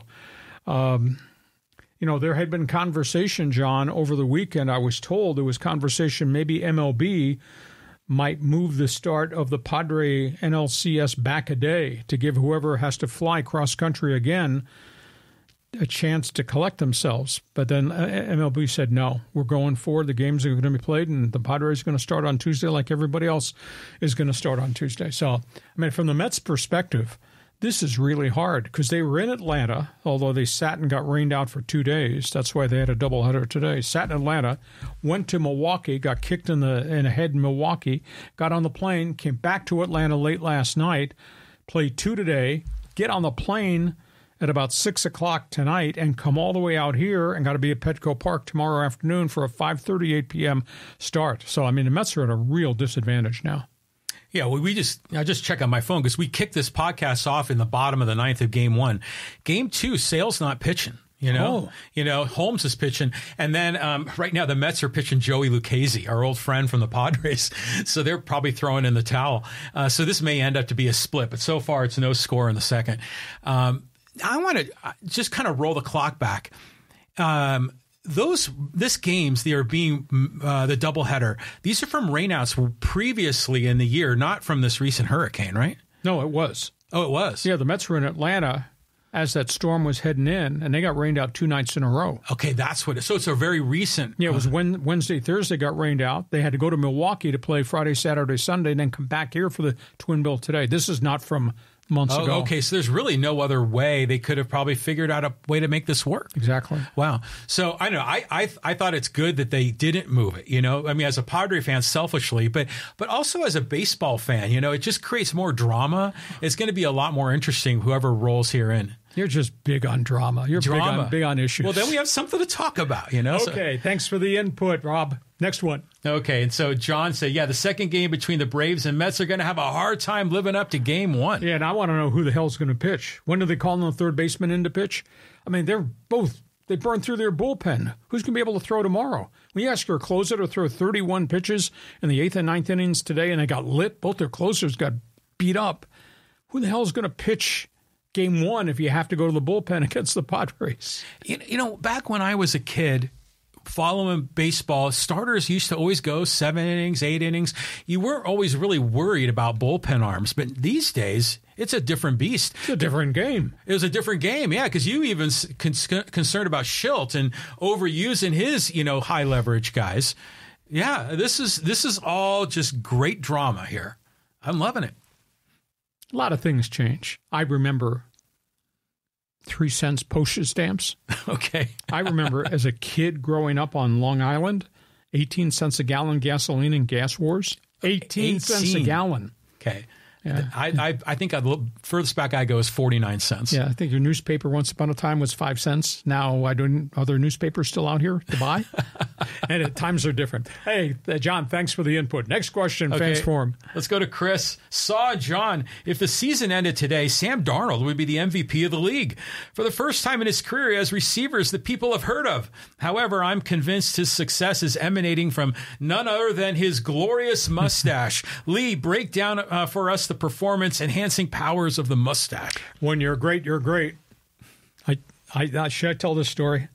So I, I text with a lot of people, ex- executives, different sports. So I saw a picture weeks ago of AJ Preller. Kind of looked like an Errol Flynn mustache. So I texted him and I said, listen, I, that's an okay picture, but if you need help with that mustache, call me. you, you and the mustache, that goes back how far in time? 1970s, doing hockey. When I had long hair and a Fu Manchu, which was everybody in hockey had that back in the, the in days the 70s, of the Broad yeah. Street Bullies, the Phillies and the big uh, the Flyers and the Big Bad Bruins. Mm-hmm. So I had it, and I started. I only shaved it off once. Uh, it was right after I got married, and I was going on vacation to my cottage, and we're getting ready to go the night night of the midnight flight. I always fly overnight, and I said, I had to take this off. So I shaved it off. I looked like a car without hubcaps. and I peeked around the corner and I scared my wife. She said, What happened? She said, You were trimming to make a mistake? I said, No, I just thought it, but I grew it right back and I've had it ever since. So, it's part of who I am. What do you think about Sam Darnold? This is amazing. This is the Kevin O'Connell effect. This is the guy I thought coming out of USC we would see in the NFL, but it shows the complexities of bad team, high pick, drafting a quarterback. Look the hell what happens when you put a good young quarterback around bad players. And it just had no talent. No run game, couldn't protect him, you know, and he's going through a brutal learning curve about where's the blitz coming and what's my pre snap read. And I mean, it's just, he, there's a confidence failure there that was terrible. But that was on, that was an organizational failure. So now he's a veteran. So now he's got a little bit more experience. And obviously, He's with a pretty gifted, smart guy, La Costa Canyons, Kevin O'Connell, and they're off and running. I, you know, he's he's obviously got maybe the elite receiver in the league right now, in uh, Justin Jefferson. And I'll tell you, the kid from USC, Jordan Addison's a hell of a player. They don't have their tight end yet. He's going to be back within a couple of weeks. Hockenson. Suddenly, that's a really dangerous offensive unit they've got. A little surprised Minnesota's doing so well defensively because they lost their top pass rusher Danielle Hunter, he went to Houston as a free agent, and they've lost a lot of guys off the defense because of salary cap issues. But wow, Darnold sure looks like the real deal. Whether you like him or don't think this is going to work out, you can't take away the fact they got four wins already. Government's not going to come and reclaim those four victories. I'm happy for Kevin O'Connell and for Darnold. Yeah. But was Darnold there before McCarthy got hurt? Yeah. Okay. Yeah, he signed. He was supposed to go in to be the quote insurance policy. Ah. And you know, he went to the OTAs the same time McCarthy went to the OTAs, and McCarthy was playing okay, and then McCarthy suffered the knee injury and is gone for the year, and now they're lucky they got that insurance policy in Minnesota because that insurance policy is now four and zero oh as a starter. Wow. Hell yeah. Yeah. Yeah. Okay, let's keep going here. Let's talk uh, Aztecs. This is with Force Ghost Fabio. Aztecs football choked that game away. The kicker gave me flashbacks of that Miami game back in 1990. Oh, what was his name? Andy, the field goal kicker that missed a couple of critical kicks. And he was a good field goal kicker. But at the end of the day, I, I asked uh, Sean Lewis at the press conference today, because uh, Rose is kind of off the bloom now. There's hardly anybody going to those press conferences. Mm. There's me and Kirk Kenney from the Union Tribune, uh, one guy from the website East Village Times, and one cameraman. That's all showing up. Uh, so I'm not going to say San Diego State's lost the media, but not much of it, many of us there, but some of us are still coming. But I asked him today, what's the, what's the biggest phrase this week uh, in the Aztec uh, Center? And he said, well, so I gave him multiple choice. I said it's learning curve, coaching confidence, or or what was the third one? Oh, he asked me too quick. I gave him three choices, and teachable moments. He said, "Now, check number three: teachable moments. We just have to learn how to cope with what's going on, and don't let one bad play become a second bad play, etc." You know, and they, they put out the fire at least last week with all the offensive line penalties, but that was replaced by all this junk all this cheap stuff that happened with personal fouls on defense. I mean, they had a kid throw a punch. The whole world saw the punch, but a Mid American Conference referee didn't see the punch. They had one of their corners should have been thrown out of the game. You know, plus they had helmet hits, they had late hits, they had roughing the quarterback hits. So he's got his hands full right now, and I don't like I don't like the play calling because they're they're asking that kid freshman quarterback to stand in the pocket and let receivers run their deep routes. A, the kid could get cleaned out, get hammered, or B, you're asking him to throw it deep with they're completing less than 50% on bombs. And as I said early on, you got all the speed his wide receivers and his tight ends throw slants, throw up and outs, throw crossing patterns. You know, wear the damn defense out rather than stand back there and try to throw it 38 yards down to Lewis Brown, complete one out of four, one out of five of those passes. So Sean's going through, I think he's going through a rough time, but I'm not giving up on him. I still think at this level, with that playbook and the number of athletes, I still think San Diego State is going to have a decent season. But dude, you're one and three. I'm not one and three. You're undefeated. Uh, yeah, you know, you, you got to have patience with this guy. Mm-hmm. You know, I mean, he's brand new. I mean, we are all spoiled from Rocky Long and and uh, Brady, Brady Hoke, you know, and all the you know with over the 2000 teens, they were just such a great run. And yeah, we've got to take two or three steps back, and I think that's what we're in. It must be just so hard to build a culture, you know. And then, and then the players you're recruiting, you know, you got a lot of these players have a chip off their shoulder, and maybe that's why they're getting in some fights a little bit, you know, trying to prove that they're legit. I just think you, you stay the course, you continue to teach them. I do think you need to open the playbook a little bit more. And once they start to win, they're going to win because this confidence will continue to grow. They're playing hard right now. That defense, unfortunately, is on the field too much. I think there's 133 teams in Division One. San Diego State is 129th in time of possession.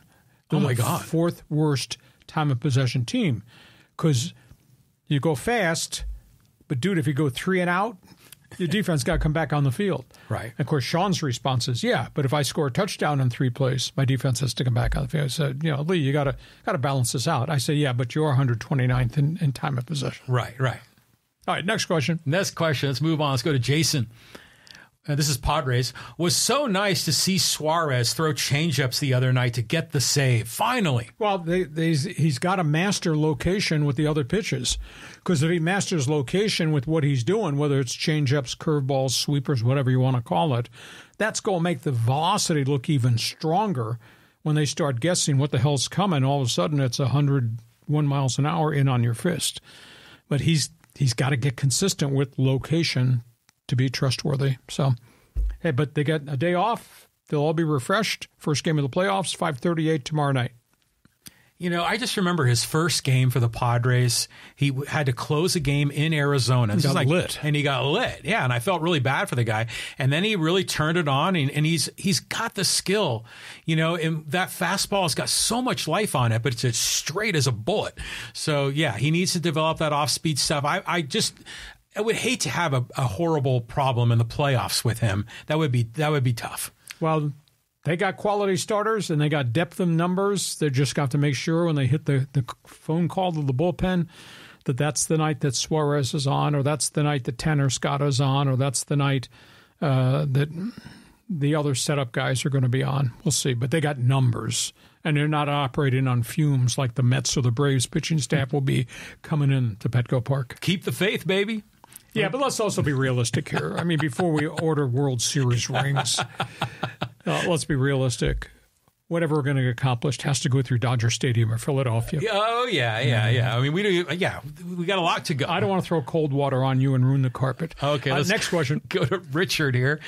And he says, when it comes to Major League Baseball marketing their brand, why on God's green earth would you not reseed so that LA and San Diego could be a possibility for the NLCS rather than knock another off in the divisional series? Shaking my head? well. I guess that's a viable question, uh, Rich. But end of the day, you can't change the rules year by year based on who's hot, who's not popularity. The rules are the rules.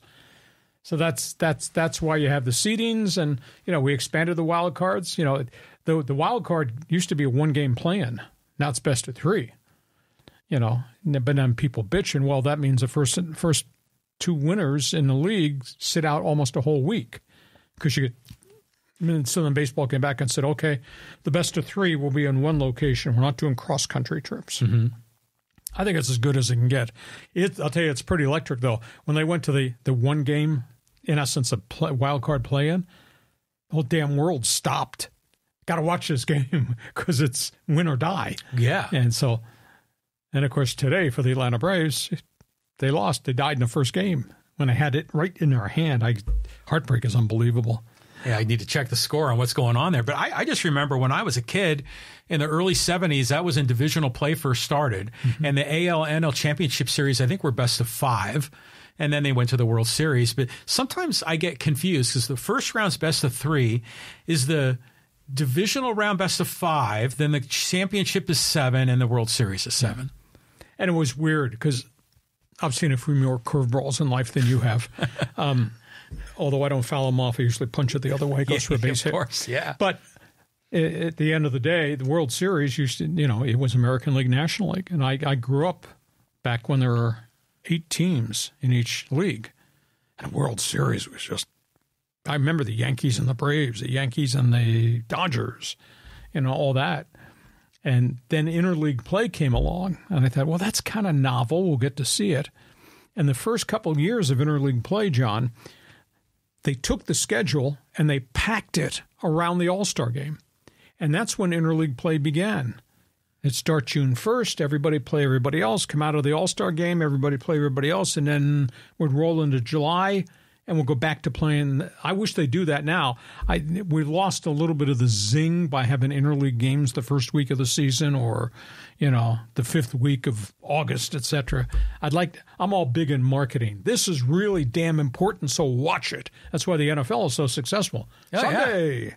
Sunday, Sunday. Yeah. Um, it, it, I just want to go back here first of all. The seeding doesn't the NBA reseed? One of the leagues does, doesn't it? No, not anymore. NBA NBA came up with their old gimmick and gadget. You know, you're the only guy I know that bought season tickets for play-in games. Hmm. Doesn't say much about you intellectually, but God, I shouldn't have drank so much coffee today. I wouldn't be on the edge as much as I am. but no, they, they, there's been a lot of talk about reseed, but they, I don't think they want to tamper with the integrity. Of the playoffs are the playoffs. NHL's talked about reseed, you know, but no. But it was cool back then, back in the day before interleague, because I grew up a National League fan, and the American League was like on another planet. Yeah. you know, and it was it was like a like a t- when it, when Happy Days and Laverne and Shirley come together, it's like a crossover when you can play a team in the American League. It was like you were it was sacrilegious or something, you know, and it's it's kind of neat. To quote Henry Winkler. Yeah. Next question. Okay, let's go to Carlos. Chargers are done. They probably get beat by high school teams. Eh, I won't go that far, but this is a bad bad piece of luck. I mean, to lose your left tackle and right tackle, both significant injuries. I was told maybe four weeks for Slater and Alt. That's that's really hard because those are the bookends, and you know, you can you can run all these other big guys out there, but those guys are backups, and there's reasons they are backups because they're not equal. And and to compound it, their center situation, they got Brad Bozeman, a journeyman center from Carolina. He is like 29th rated offensive center in the league five weeks into the season. So he's, his ratings in terms of blocking and all that isn't that good. So the Chargers have really got O line problems. And despite the courage and the heroics and the moxie of Justin Herbert, he's taken a lot of hits. There are statistics for offensive linemen. Oh yes, there's I- all types of rating. I, I never heard of that. Well, if you wouldn't go to bed at nine thirty at night, you'd have time on the computer to go search this Now junk that out. takes some serious film work to break down that data. I mean, well- because they're not doing it in real time, are they? No Yeah, way. no, no, but they, I mean, there are groups that that's what they do. I think there's a there's one collection that does all statistics. I think it's called Fans Focus. Uh, you have to subscribe to it and all that. So, yeah, but there's all types of rating systems for virtually anything, including how good the offensive linemen are. You rank guard to guard, tackle to tackle, offensive center, etc.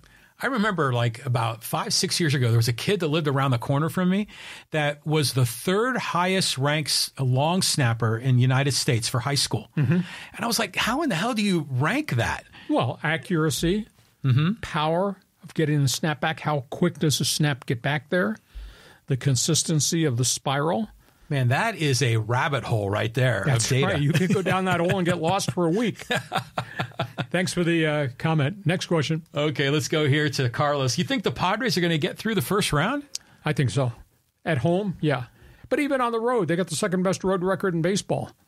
And, you know, if they had been forced to go on the road, no problem.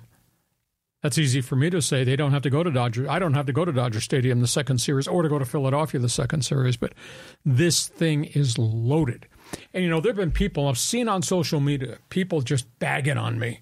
Oh, you were the one that said Preller is in jeopardy, lose his job. You were the asshole that used the comment House of Cards. Well, yeah, that's when you were screaming, like I was screaming, about them being underachievers through June 15th and losing. I heard you screaming about losing to Miami and losing to the Rockies and losing to the Pirates and and now you're bagging on me because I was presenting the information that was available at that time. Now the information now is a little bit different. Social media, boy, just Well, see, they think they try to uh, figure out if you're a fan of the team. I'm just covering the team. Right, you're a sports journalist. You know, you cover the team, you have your take, your your one man's opinion. But I think you know, as a fan of the team, you don't like people jumping on the bandwagon, jumping off the bandwagon. And I think they're projecting that on you.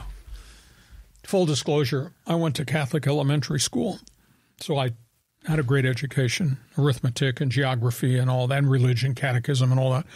Didn't have any background in music.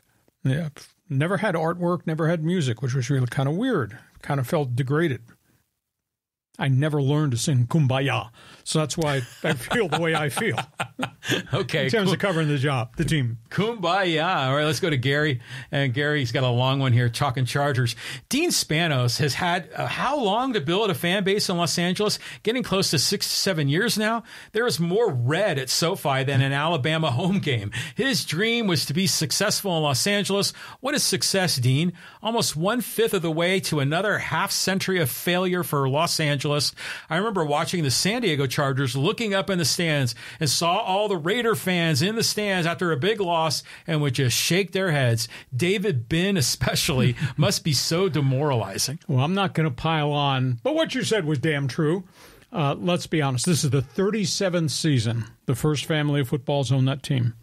First Family of Footballs had 16 winning seasons in 37 years. And those are the people that fired a Hall of Fame coach in Don Coryell, a Super Bowl coach in Bobby Beathard, a 200 win coach in Marty Schottenheimer, and a Hall of Fame general manager in Bobby Beathard. Those are the facts as presented today.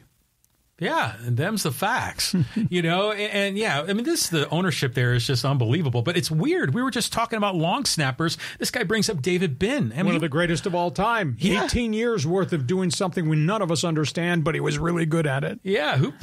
Uh, what a coincidence, right there. Cal let's- Golden Bear. Okay, let's let's go here down the list. And uh, oh, David Ramos has been poking you with this one. Ohtani six for eleven, Arraez zero for twelve in the Dodgers versus Padres series. Who's ready for the playoffs? They're both really good players, but Ohtani has just been fierce. Uh, I'm trying to remember the statistic as of last Friday. Ohtani was I I can't recall. He was the player of the week, but this, he was hitting like 595 for the, that final week in the middle of the pennant race. He's just just so gifted. And Arraez, he's I'm not going to say an acquired taste because you have to respect the accomplishment. You win three batting titles in a row. Dude is doing a lot of things. I have never seen a modern day ball player swing at so much stuff outside the strike zone and yet put it in play and get a base hit. You know, I, I, I, jo- I joked with John. I said, Do you know there's three area codes in San Diego where we live? 760, 619, and 858. And Arraez comes to the plate and he'll get pitches in all those area codes and he'll swing at all of them. He's the best bad ball hitter in baseball modern day I've seen. I thought Yogi Berra was the all time greatest bad ball hitter. This dude hits balls off his shoelaces and drives it. I mean, he's just, he's really unique. And 314, that's pretty damn impressive considering he's had some spells where he kind of went into a funk, yet he's hitting 314. I just like his personality. Oh, he's Oh, yeah. like a fun guy. He's like out there and he's excited to be here for a winning team because he was he was playing for the Marlins that weren't going anywhere. So yeah, this, it's it's a pleasure to have him. But you know, when I think of bad ball hitters, I think of Vladimir Guerrero Sr. Oh, wild swinger. Yeah, and he would be all over the place, and that dude would drive the ball. But Arraez is just kind of like a like a unicorn. He's like this unusual thing we haven't seen. It's, it's not exactly Tony Gwynn, probably like more like Rod Carew. Yeah, he acts in a batter's box like he drank too much coffee too.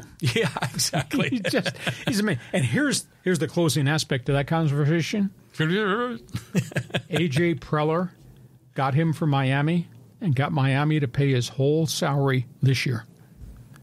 Executive of the year, man. That's him, AJ That's Preller. amazing. Now next Yeah. year they're going to have to pay ten million dollars to keep him. But I think Hosmer comes off the payroll, Yeah, doesn't he? exactly. So they'll be able to move some things around. Okay, next question. Okay, let's uh, actually. John had an NBA comment. He says, "When the NBA auctioned the Clippers to Steve Ballmer for two billion, Dean's eyes rolled like slot machines. His idea was to move the team and score a payday. His family is in construction and can't build anything more than slum apartments and strip malls. Well, you can denigrate them if you want.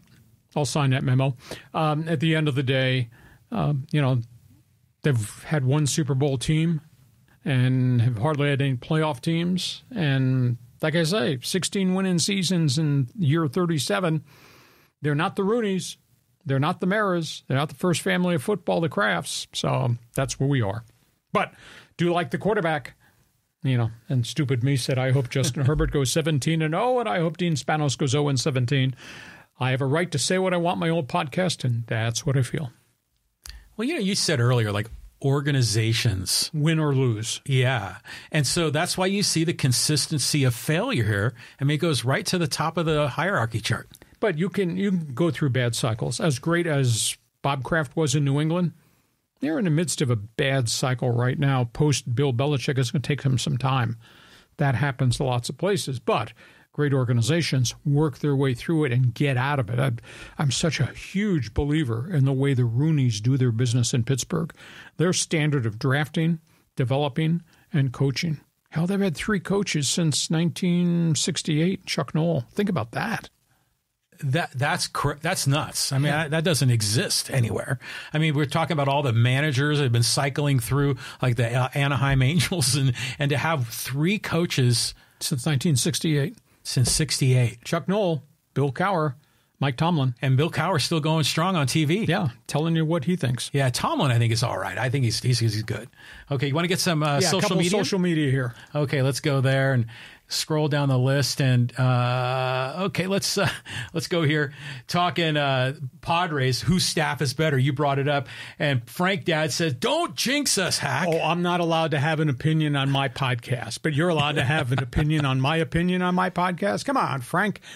Please t- take out a checkli- checklist. Just go ahead and compare. Who's got a better pitching staff? Padres over Dodgers. Padres probably a little bit over Philadelphia. Padres definitely better than the New York Yankees, top to bottom. And the Padres batting order is pretty good. And the Padres bench bunch is pretty good. Do you say? Don't jinx them. I'm just giving you the facts.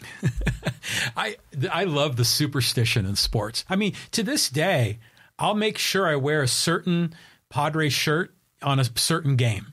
You know, and, and and I'll do that in other sports too. You know, and I know it's weird, it's just silly, but you know, it, it, it makes you think you're somehow involved in the win or the loss. There's nothing wrong with being a fan. No, not all at the all. time. Sean Lewis gave me crap today at the Aztec press conference. Oilers hockey. I said, "Hey, it was clean. I put it on. Whatever." yeah, he's a football coach. He doesn't know much about that. Okay, let's go here to talk a little Lakers with ASAP Mimic. He says, "No Lakers fan who is invested into this team and following the team's every move through the through the fan made channels, or even thinking about Bronny right now. The rest of the NBA community do not understand just how bad of a coach Darvin Ham was, and certainly cost the Lakers a couple of wins with his terrible coaching all around, from play calling to lineups to development to crunch time decisions to preparations.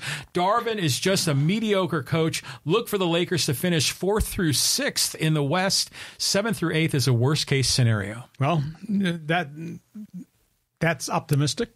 We have to see if JJ Redick's X's and O's work in the NBA, not having been a coach. We see if he becomes the head coach or whether LeBron James and Anthony Davis are coaches on the floor. Big issue. you know, Bronny James, that's wasted conversation. Well, I mean, why would we be concerned about the 15th guy under contract and what he's going to contribute to a team that's got to get to the playoffs? That's a little far fetched to me. The bigger bigger storyline is Dalton Knecht really the deal. If if he can hit threes, and he did in the summer league once he got his feet underneath him, he played really well in the NBA summer league. If Knecht is the real deal, now suddenly that team looks very different. Uh, you know they're gonna they're gonna run the ball. They're gonna push the tempo. They are going to shoot a lot more threes. That should help Austin Reaves. Um, can D'Angelo Russell be Mr. Consistency, or will he continue to be hot and cold? And you know, I, I, quoted the statistic on Rui Hachimura. Even though he's not a stud as it relates to him a star, they were 21 and 8 when he was a starting power forward. So if if they can find a mix for Rui to be part of, and he's consistent and Knecht to hit, and they can push the tempo and hit threes, then it's just not on AD and King James to carry the thing. So a lot of questions there have to be answered going forward when they open their camp in the next week. You know, whenever you're wondering about LA coaches, you have to think about LeBron. You know, it's like LeBron really the coach. Mm-hmm. You know, and it makes you wonder if there were differences of opinion in the locker room when they're drawing up game plans between Ham and LeBron, and then potentially with JJ Redick and LeBron, even though those two guys are buddies. So I, I don't know what to expect from JJ Redick. It has to come from the players though on the floor. They got to respect the coach. Coach has to know what he's doing but it's got to come from the players have to execute and that means players 4 through 10 have to be able to contribute and be consistent and hopefully not get hurt which has been part of the, the lakers problems too. So fascinating list of questions to talk about going and we're going to talk more about it as we roll into the month of october Okay, we've got to talk about Dave Roberts. Okay, yes. you have time for that? Go ahead. Okay, let's get Dave Roberts' commentary because there is so much talk on social media about this. And uh, um, let, let, let's go here. The big question is who's going to be the better manager in the playoffs? Roberts has been horrible in the postseason. Padres may have the edge. Oh, I think they do. I mean, we got all these 90 wins for Mike Shildt in St. Louis and now in San Diego without the star studded superstar talent that the Dodgers have. Dave Dave obviously has been critiqued and rightfully so. Although maybe it's not all his decision about who pitches, who doesn't pitches, who's first out of the bullpen, what matchup must we have. We're talking about postseason playoffs because that's where they're falling short. You know, and you go back and look at the use the usage of Urias uh, in the bullpen coming out of the rotation, or asking Kershaw to throw out of the bullpen, or obviously before that the multiple times they overused Joe Kelly those all came from the manager, but did they come from upstairs on the analytics sheet that they sent down that said, we recommend this, this, this? I don't have the direct answer to that. But yeah, I also tend to think the Dodgers, and John and I talked about this last Friday, I think they're a little bit passive. You know, you don't see a hell of a lot of bunts. You don't see a lot of hit and runs with the Dodgers. It's like, well, just hang around, get to the top of the batting order, and they'll put it in the seats. You know, the Padres are kind of built differently. The Padres play a lot of station to station, base to base baseball. I mean, they, they do squeeze bunts. They do dump the ball down the line. They try to move runners over and even do surprise stuff. You don't see a lot of that surprise stuff with the Dodgers. To me, the Dodgers are a little bit too passive, even though they got superstars at the top of the batting order. Well, there was another comment here about bunting, talking about the Dodgers, and that was from Eric. And he said, you know, I, am going to give him a pass for the World Series. The Astros cheated on. Number one, David Roberts has won and won a lot with one of the highest paid rosters in MLB history. I blame Dave Roberts for the monumental pitching collapses in a few playoff games, including the World Series. He just recently made an error against the Padres. Instead of bunting to bring Ohtani to the plate, he let Miguel Rojas hit into a triple play to end the game. It's errors of that nature that make me dislike him. The list goes on and well, on. Of course, the response from Dave Roberts was if we lay the bunt down with Machado and the first baseman storming in, that could turn into a double play anyhow because it also could turn into, depending where the ball is placed on the bunt, it could also be a throw into center field that they screw the play up. Hmm. So it's it's a real tough call. But Rojas is hitting around 300. Rojas putting bat on ball. Rojas drove that thing at Machado. That could have swallowed Machado up and gone into left field. So it's it's always hindsight is always 2020 in the rearview mirror. Um, yeah, it would have been nice to have Ohtani up, but even if it had been one out, you know, if Manny had only gotten one out, Ohtani would have come up, you know, still with guys who could score and facing Suarez. This turned into a triple play. You don't hardly see triple plays ever. I've never seen triple play ever in person or on TV. Yeah, it's very. Usually you see it a highlight, you know, when it, when it happens. Watching that one, and then I said I saw one where the Padres bunted into a triple play against the Dodgers. It was awful. Um, you know, it, it makes you wonder too, like how much how much um, impact does a manager have on a baseball roster?